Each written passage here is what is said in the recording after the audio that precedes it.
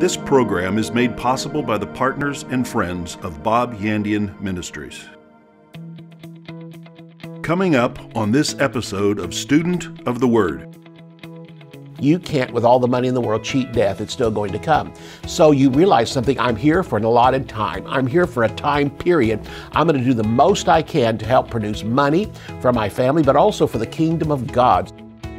For more than 40 years, Bob Yandian has been an expositor of the Bible, making seemingly complicated doctrine easy to understand. Grab your Bible and something to take notes with and study the Word of God with Pastor Bob Yandian. Hello and welcome again to Student of the Word. Glad to have you with us today. And uh, if you're joining us for the first time, really, we welcome you today and thank you for visiting with us. And uh, especially those I want to talk to that have been visiting here for a long time. I mean, you came and you visited and you really enjoyed what you're uh, hearing and seeing. So, again, I want to thank all of you. So, if you're new or if you've been around for a while, thank you for tuning in. And uh, just want to thank you for becoming a part of this. You know, but just by listening to it, the Word of God's going to affect you. And uh, this will become your channel for the next half hour for God to speak to you through me. There's other broadcasters on here that God speaks through them too, and so just be open. But I plan on sharing something you probably don't hear a whole lot about, and that's been going on for the past three days. I'm teaching on the subject of God and the businessman and the person of Jesus Christ working through us to help us in business, because again, God has a special plan for business. I've got two books that I'm dealing with. The first one, the small one over here on the side, is called Unlimited Partnership God and the Businessman and tells you basically what the Word of God has to teach throughout it toward business. The fact that God established businesses, set it up. We've covered this before in the past three days, but God gave Adam a job before he gave him a wife and children. Yet the first commandment was be fruitful, multiply, and replenish the earth.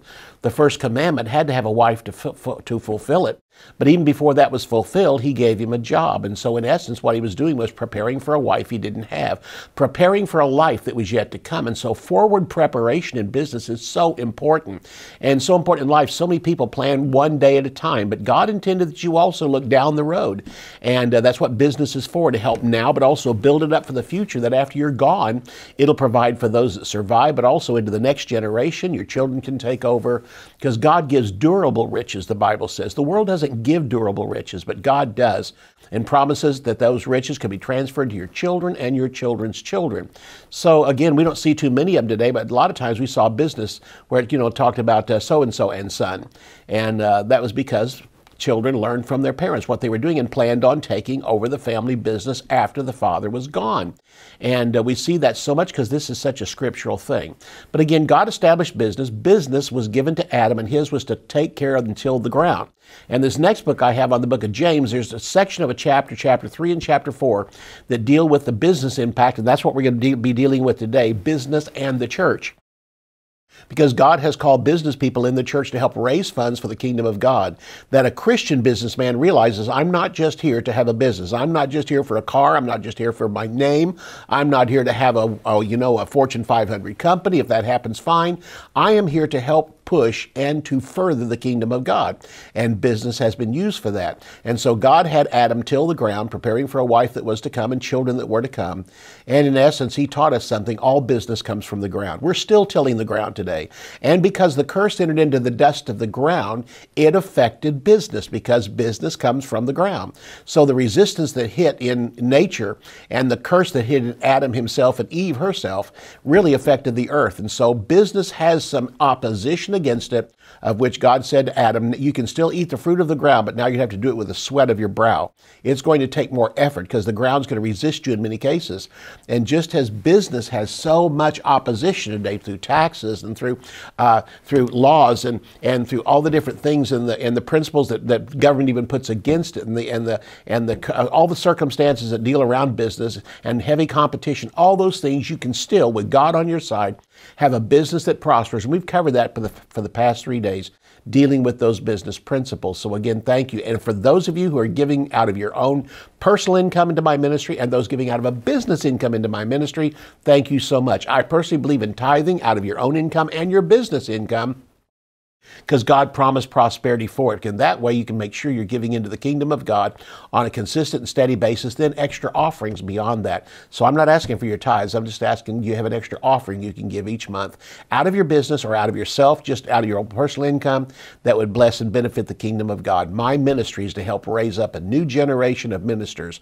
And I want you to stand with me in helping me do that so that after I'm gone, those ministers will still keep prospering and moving in the things of God. Let's go to Proverbs chapter 11 today. And we'll start with verse 4. Then we're going to take this again back into the principles of prosperity, the principles of business. And that is Proverbs 11 4. Richest profit in the day of wrath, richest profit not in the day of wrath but righteousness or integrity delivers from death. And so integrity is moral uprightness, a principled life living on honesty and principles in line with the Word of God. Integrity is a witness to others and a guide to your own life. So when God guides you through integrity, remember again, the Holy Spirit guides us, the Word of God guides us, but here's something else. It's told us in the book of Proverbs that integrity can be a guide. What would integrity do? Not just a wristband that says, What would Jesus do? What would integrity do? And integrity would go this way, that's simply God saying, you don't need to pray about this. You don't even need to go find a scripture. What would integrity do? And when you do that, not only does it become a boom to your own life, and not only does it make principles to guide your own life, but it also shows others what you really stand for and becomes a witness to others of the unwavering Word of God, the unwavering new birth inside of you, the unwavering partnership we have you have with God, and you're a disciple of His too. Deuteronomy chapter 8 tells us uh, that is, uh, keep your focus and you can keep your wealth. You keep your focus on God and, and setting first the kingdom of God. He said, if you'll seek first the kingdom of God, His righteousness, He'll see to it all these things are added to you. And the things are the things of life. But when you get your eyes off of the Lord and you get your eyes off of the kingdom of God and you no longer are seeking it first and you start to seek these other things, then the Word of God simply says this is one of the lusts of life. You know, the Word of God comes complete, as it says in Proverbs, with two hands. It's like a beautiful woman. In the right hand, is length of days. In the left hand is riches and honor. But the whole essence is keep seeking after the woman, keep seeking after the word, and the two hands will come with it. Don't get caught up by looking at the two hands and go for the long life and trying your best to, change all your health habits and all that, try to keep yourself here longer. Even if you could keep yourself here for 10 more years, what does that mean in the light of eternity? Nor go to the left hand, which has riches and honor, and seek after the riches, because honestly, rich people don't live any longer on this earth than poor people. And so again, we often think, you know, well, all this money, I can buy some way to keep myself here longer. No, you can't. You can't, with all the money in the world, cheat death. It's still going to come.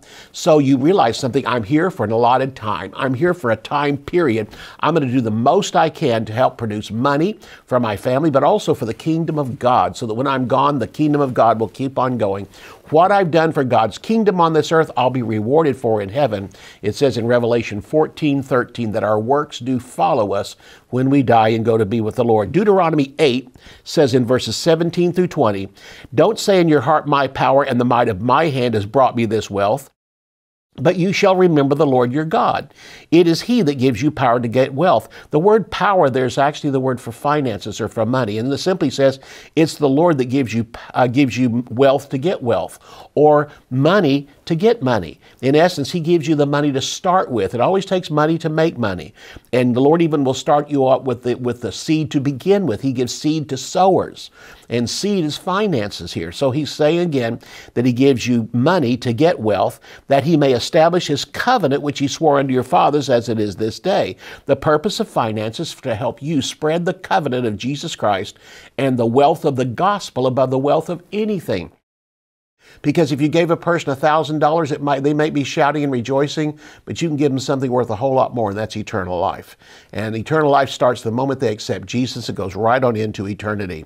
And so it goes on in verse 19, and it shall be that if you do all that if you do at all forget the Lord your God and walk after other gods, that would be money, that would be anything else, and serve them and worship them, I testify against you this day, you will surely perish. As the nations which the Lord destroys before your face, so shall you perish, because you would not be uh, obedient to the voice of the Lord your God. How do you forget the Lord your God? In this verse, it says, Don't forget the Lord your God start to walk after other things. You begin to look at yourself. You begin to think of your own wisdom. You begin to think of your own expertise and power. And you think, Man, I was smarter than I thought I was. No, you're dumber than you think you are. No, it's simply saying here, God gave you everything. I mean, in er, people often go to work and say, "Well, I did this." No, God gave you the talent. God gave you the strength. God gave you the breath.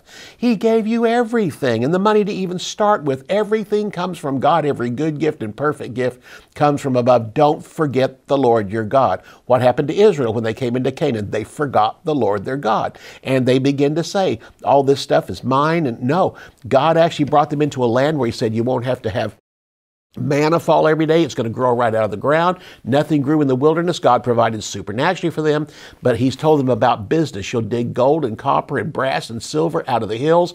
You'll have so many goats, so many uh, cows. You'll have so much uh, uh, other things, you know, livestock that He said it'll be innumerable. And we see that happening when Abraham went there. He had so much that he ended up giving part of it to Lot, his nephew. And so the other thing is, is how do you serve other gods? It's you take the God off the throne of your life and your personal business, and instead of the gospel, you make money your top priority. And all of a sudden, you no longer seek first the kingdom of God. You're seeking money, you're chasing after money, and that was never the purpose for getting in business. Getting in business was to fulfill a personal dream you had that you seem to have inside you think, man, I've got an idea for a business. Next of all, the next thing is I'm going to give it to God. And I'm going to give so much out of my income to God. And through the years, I'm going to keep increasing how much I give to God because the greatest thing I can hear is not how much somebody enjoyed my product, it's the person accepted Jesus as Lord and Savior through my giving into the gospel. So you begin to look to money as to what you can buy. That is your God. And the Bible talks about what God hates is those who are lovers of pleasures more than lovers of God. That is a verse directed to Christians, not to the world.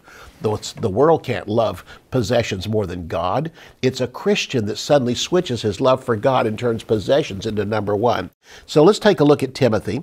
In 1 Timothy chapter 6, I want to take a look beginning in verse uh, 9 through 11. We're going to start taking some admonition to businessmen in the congregation. And here in Timothy, Timothy has many uh, business people in the congregation. And listen, don't ever look at people with money as somehow they are evil. They are a great blessing to the kingdom of God. In fact, many of them could walk in that office of a giver found over in Romans chapter 12. Don't ever look down on people in the congregation with money because they're the ones that fulfill that call on their life to be a giver. There's an office of a giver found in Romans chapter 12. And so Timothy's going to address the members of his congregation beginning in verse 9 through verse 11 of 1 Timothy chapter 6. I think we'll just wait till we get back from the break to get into that one because it's such a great part. I don't want to break it into two. So when we come back from the break, we'll take up from there. And then we'll also go to the book of James. So you can already find James chapter 4. We'll be going into that part and directed into that part and let you see it so that you'll know which part we're going into. And once we get in there, we'll start addressing this to businessmen today because these verses have never changed in their impact, never changed in what God has to say to them and what Timothy had to say to his congregation in Ephesus and what James had to say to his congregation in Jerusalem still applies to us in the Word of God today. So we will see you immediately after the break. Bob Yandian Ministries is training up a new generation in the Word of God. You will never know until you get to heaven how many people received Jesus, were filled with the Holy Spirit, healed, or found God's will for their life through your support and prayers. If you would like to become a partner with Bob Yandian, visit our website at bobyandian.com and click on Partnership or call us at 918 250 2207. Would you like a business partner who never fails? One who labors tirelessly, never sleeps, and is even more interested in your success than you are? One who sees the future and always knows how and when to expand and invest. This business partner is God Himself. Many allow Him into their lives and marriages, but don't know that He also wants to be involved in their business and finances. God made covenants with Abraham, Jacob, Moses, and David, and led each to great success. Now he wants to do the same for you. But this unlimited partnership can only occur when you take your limited resources and wisdom and combine them with God's infinite power. Whether you're already successful or still looking for your big break, this can be the turning point in your business and financial life. To order God and the Businessman, go to bobyandian.com or call 918 250 2207. Welcome back. Let's go to 1 Timothy chapter 6. And of these verses that we find in Timothy, he addresses deacons and elders and all the different things, the, the people that work in the church. But it really comes down to what's so important in the church is businessmen. And, you know, probably a lot of these businessmen were people that Timothy prayed with. And, and when they first started going their business, they probably said to Timothy and said to him, Man, I just love Jesus. I love this church. I just wish I had more to give. I see how we're expanding from the church at Ephesus. Six other churches began. The seven churches in Asia found in the first three chapters of Revelation are all came out of that church in Ephesus. And so I'm sure they saw the expansion, more and more people getting saved, filled with the Holy Spirit, signs, wonders, and miracles. They just had a desire in them to open up a business and through their business help to fund the gospel of Jesus Christ. They probably went to Timothy as their pastor. He prayed with them and saw them start with such an honest heart. But begin to see after a while that oftentimes in business, we get so wrapped up in business, we don't study like we used to, don't pray like we used to, don't listen to the voice of the Holy Spirit. And after a while, it's no longer the Word of God that becomes our standard, it's now the Wall Street Journal and it's now watching some business channel on television. We begin to think all these people can help me make the proper decision. But we'll see here what he has to say. 1 Timothy chapter 6, look with me at verse 9 through 11. It says, Be sure that they seek uh, that they seek to be rich. Those who seek to be rich fall into temptations and a snare, and into many foolish and hurtful lusts which drown men in destruction and perdition. For the love of money is the root of all evil. I want you to notice it doesn't say money is the root of all evil because that's often how the world quotes it. No, it's not money that's the root of all evil. God gave money. It's the love of money that's the root of all evil. And it's simply saying here, don't let your love for God be switched over to now money because God will not compete with money. It becomes now you have two masters as described in the book of Matthew. So he says, For the love of money is the root of all evil, which while some coveted after have erred from the faith, pierced themselves through with many arrows. But you, O man of God, flee these things and follow after righteousness, godliness, faith, love, patience, and meekness. He's simply bringing back these businessmen to the roots of how they began their business.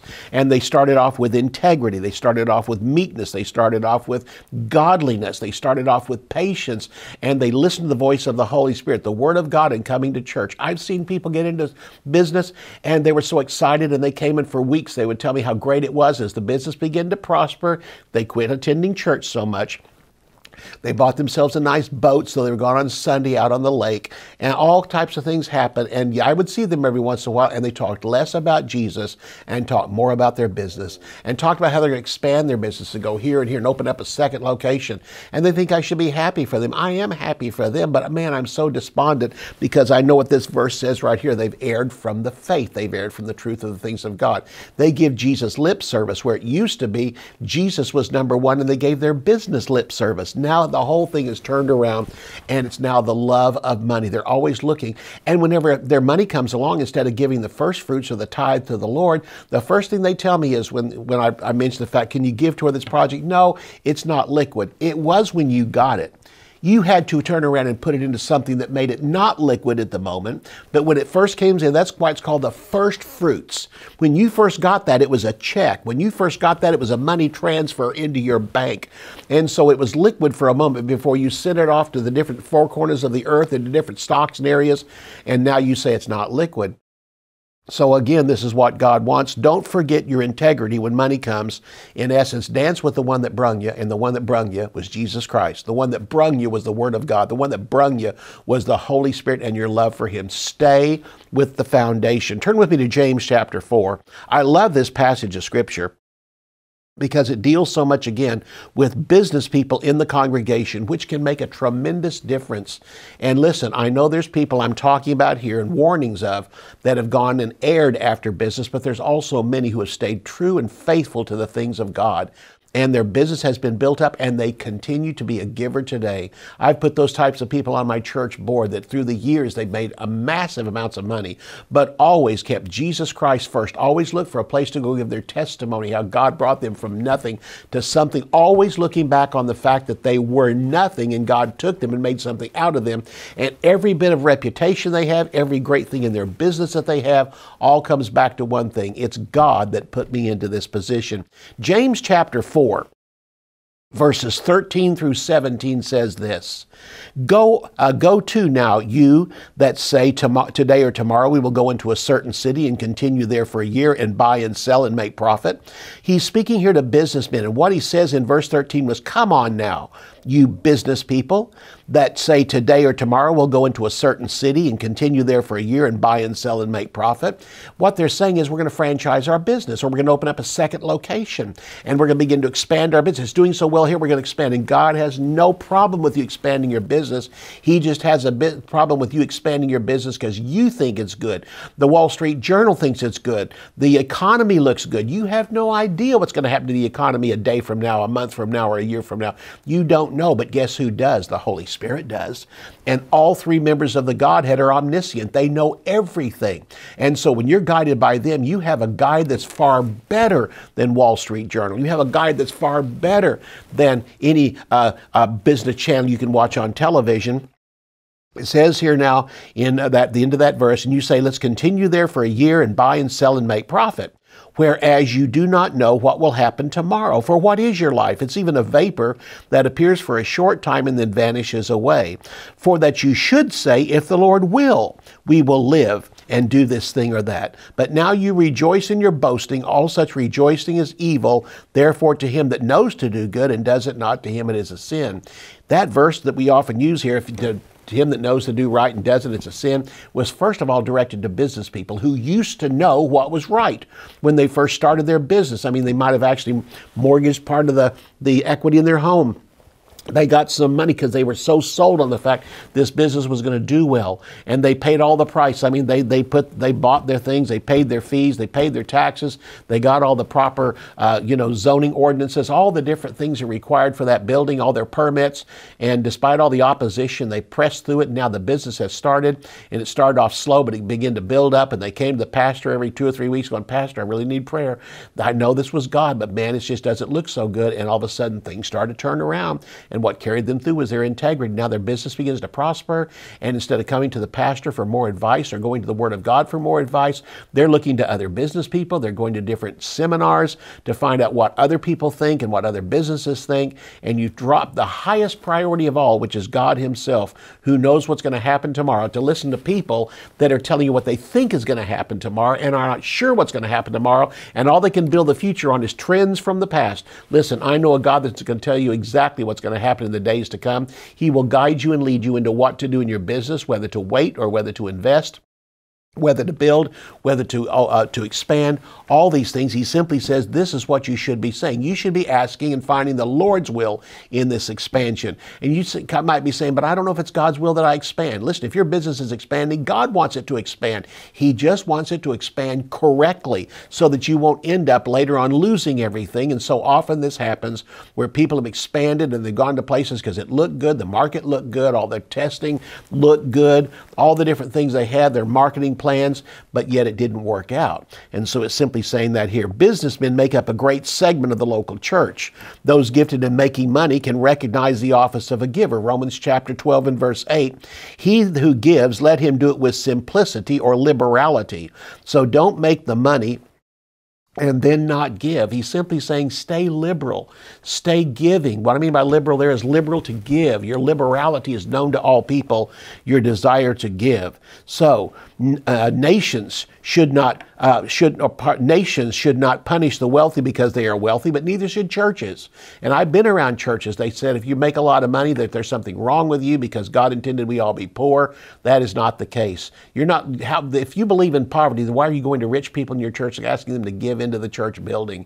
You know good and well that that's business people who make excessive amounts of money, huge amounts of money, are wonderful. And we shouldn't be running them down because God has gifted them and they have this innate desire and this innate push inside of them to constantly keep pushing to make money. They are driven inside. It's part of their nature.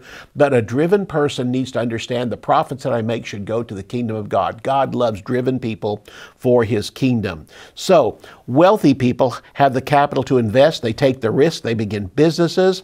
Wealthy people begin companies. Then they hire, provide jobs for others. Big business is not evil. It's just because simply it's big. And we look at that in our country now. You hear so many people saying, well, big business this, and the moment it's a big business, that means there's something wrong with it. No, there's something right with it. Do you realize how many small businesses feed off of big businesses? In fact, most of the people in your congregation starting small business, they couldn't do that if there wasn't a big business out there to help supply for. If there wasn't an automaker out there, then who could open up a small shop on the corner to repair cars? Who could open up a brake shop and who could open up an air conditioning place for cars, all the different things that come because of big business. And because there are huge businesses, that, then right down the street, you need to have restaurants and all the smaller businesses that are supports for the employees that work there. So small business has always fed off of big business. So that comes back again today that you are not omniscient. You don't know what's going to happen, what's going to be around tomorrow in the world. Circumstances and the economy are totally unpredictable. And about the time we think it have we figured it out, it drops. Even the experts get on TV and say, we don't know exactly. We, we couldn't quite see this coming, but we think it happened because of this or happened because of that. So unpredictable things because why? We live in a cursed world, but yet in the midst of a cursed world, God still promises you can make it and you can prosper even if it comes by the sweat of your brow. So he's simply telling them that returning to your roots of prayer and guidance by the Word of God and Holy Spirit is the most important thing. What did he say? If the Lord wills, I will go and invest in more business. So I think it's time you make a fresh business commitment. You that are in business, if you're watching this program today, when's the last time you really prayed over that business? Woke up in the morning saying, Lord, direct me in my investments today. Direct me in my pursuits today. Direct me in what I should be giving to the kingdom of God. Lord, if there's any extra, I don't even need you to speak. I'll just purpose in my heart. I want to be a giver because, Lord, when I die and I am gone, I want people to say one thing this business helped to finance the kingdom of God. And when I meet the people in heaven, they will thank me with gratitude for the eternal things I sowed into into this earth from my business. God wants to bless business people. So understand again, your confession should simply be, Father, I commit myself and my business to you afresh today.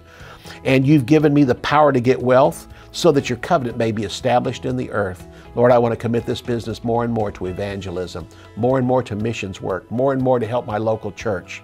Lord, they're in a building program, and when they do, they're going to be able to get more people in. I love my pastor. I love the word he preaches. He's changed my life a lot. I want him to be even more blessed, so I'm going to give into the church, into the kingdom of God. You do that, and all I can say is, Katie, bar the door. God loves a cheerful giver and will send more and more blessings to you because why? He gives more seed to the sower. We'll see you tomorrow. It did not take long for the dark clouds of legalism to form over the church at Jerusalem. It would eventually end the church there in 70 AD, but by 50 AD had already hindered the ministries of Peter and Paul, who eventually left the Jerusalem church for James to oversee. As pastor of this troubled church, James recognized the argument of faith versus works as a major issue, along with the pride and evil speaking which were infiltrating and dividing his congregation. James was compelled to address these issues both with his congregation and the Jews who were scattered abroad. In a New Testament commentary on James, Bob Yandian uses his personal notes in a verse by verse study of the best pastoral epistle ever written, showing the heart of a true pastor and how devastating legalism can be to the church. To order, go to bobyandian.com or call 918 250 2207. You can order resources, become a partner, or browse free articles and podcasts by visiting our website at bobyandian.com. You can also join our mailing list and receive weekly devotions and the latest ministry updates. Thank you for watching today's broadcast. We'll see you next time on Student of the Word with Bob Yandian.